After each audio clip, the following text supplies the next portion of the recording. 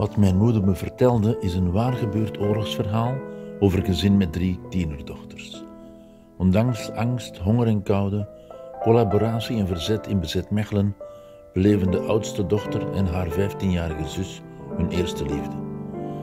Het werd een fijngevoelige, met humor geschreven kroniek, vol verrassende wendingen en een beklijvend slot. Karin, wat voor soort boek hebben we nu feitelijk gemaakt?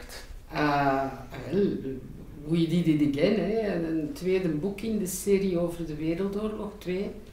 En uh, dit keer is het een familiekroniek geworden, uh, gebaseerd op mijn familie trouwens. Um, over een doorsnee familie in, tijdens de Wereldoorlog 2 in uh, Mechelen, in een provinciestadje.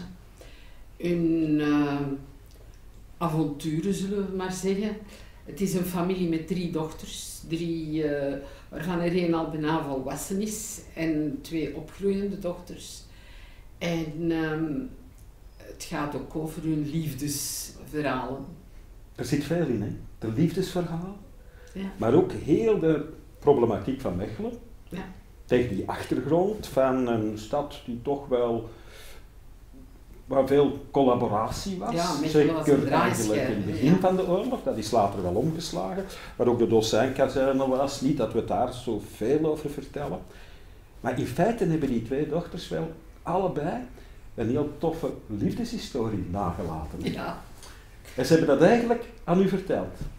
Eh, ja, wij kwamen heel goed overeen, mijn moeder, mijn tantes en ik. En eh, wij vertelden alles tegen elkaar. En daarom heet het boek ook wat mijn moeder mij vertelde. Eh, dit is het verhaal van eh, ja, de wereldoorlog zoals zij hem ervaren hebben. Ja, en ik weet, weet uit ervaring, ik weet uit ervaring hoe sterk uw geheugen is. ik zou dat allemaal echt niet onthouden. Je hebt mij dus heel veel voeding gegeven. Zodanig ja, dat ik niet veel moeite had om, jij en ik, want we hebben dat samen gedaan, om de intrigue te vinden, om het plot te vinden. Dat lag eigenlijk meer en meer voor de hand.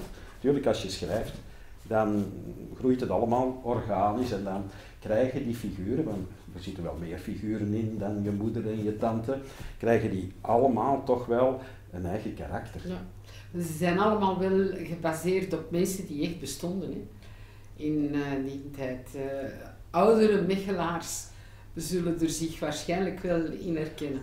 En Ja. zullen een aantal van de figuren ook herkennen. Maar men zegt dat dikwijls, hè, de realiteit overtreft de fictie. En eh, ik denk dat dat eh, in dit verhaal ook een beetje zo is. Het is een doodgewoon verhaal en toch een buitengewoon.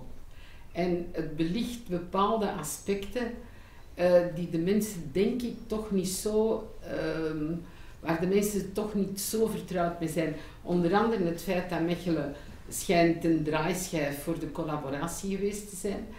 En ehm, ja, als het geen, ik zou willen verder vertellen, maar ik ga het niet doen, want anders verraad ik eh, het einde van het boek. Maar goed, tegen al, al deze achtergrond, ze moesten ook vluchten op een gegeven moment, zoals zoveel eh, mensen van bij ons, tegen heel die achtergrond heb je dan ja, eigenlijk liefdesverhalen.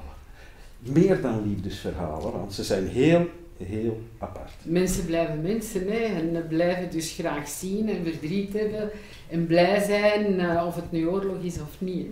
Ben je gelukkig met het boek zoals het er nu is? Ah ja, zeker. Zeker. Enfin, we hebben er hard aan gewerkt. Hè. Ja, ik vind het ook plezant. Ik had al lang, want we kennen elkaar al veel jaren, al heel veel over jouw familie, over je moeder, over je vader, waar je heel veel respect voor hebt, over die tante. Eh, ook heel veel gehoord. En, en dan vind ik het toch plezant dat we erin slagen op een gegeven moment. Vroeger was het een foto, een verhaal, en nu zie ik die mensen wandelen door de straat en zie ik die lief hebben. Maar wat ik ook belangrijk vind, dat is, je zei het net, eh, wij zijn van vijf jaar na de oorlog. En toen wij klein waren, enfin, ik herinner me dat, mijn ouders die spraken zeer veel over de oorlog. En eh, dat was vervelend, dat is, ze gaan toch niet weer beginnen over die oorlog zeker.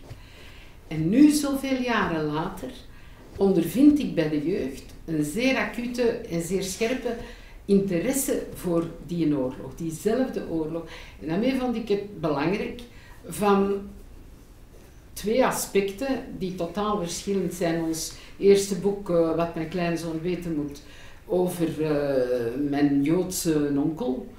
Te en de jodenvervolging tijdens en de, ons. En, en wat die mensen meegemaakt hebben. En dan in scherp contrast daarmee een doorsnee gezin en hoe die het allemaal beleefd hebben. Ja, en ik ondervind ook dat jonge lezers, juist de dertigers, de twintigers zelfs, dat die het echt wel tof vinden. En vermits het jongste meisje dat daar haar eerste liefde, haar kalverliefde beleeft, ja, is 15, 16 jaar. Ja. Dus we gooien wel op tijdens de oorlog. Maar het kan, en we proberen altijd helder te schrijven, ook gelezen worden, laten we zeggen, door de adolescenten. Die zich daar voor een stuk gaan in herkennen, maar langs de andere kant geconfronteerd worden met een hele moeilijke tijd. Ja, ja inderdaad. Maar het is een gezellig boek. Ondanks het feit dat het over de oorlog gaat. Uh, bij mijn grootmoeder thuis heerste altijd een ongelooflijke gezelligheid. En uh, in het verhaal heb ik geprobeerd van dat ook te laten doorschemeren. En ik vind het boek echt een gezellig boek geworden. Ja, en ook de humor tussen ja. jouw vader en moeder, tussen de oudste dochter dan en haar mama, wat dat ze later met getrouwd is. Nee, dat was haar mama nog niet, dat was haar verloofde. Ja, dat waren verloofde, ja, dus dat is nog een, nog een licht verschil. Uh, goed, dus ik ga dat even herhalen dan. Dus uh, de oudste dochter, later jouw moeder geworden, en haar verloofde jouw vader. Ja, die, die, hebben heel veel humor in hun relatie. In, uh, het zijn twee persoonlijkheden. En ze laten me. Jouw moeder laat zich niet doen, jouw vader ook niet.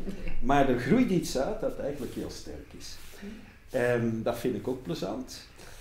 En dan toch ook vind ik persoonlijk dat we een heel lief boek gemaakt hebben. Ja, een lief, gezellig boek. Ja. Ik krijg ook van de mensen die het op voorhand al eens gelezen hebben, want je hebt altijd mensen wat ogen nodig, die hier en daar nog wel iets kunnen corrigeren als het moet, dat het ook een heel romantisch boek is. We hebben dat goed gedaan. Vind ik.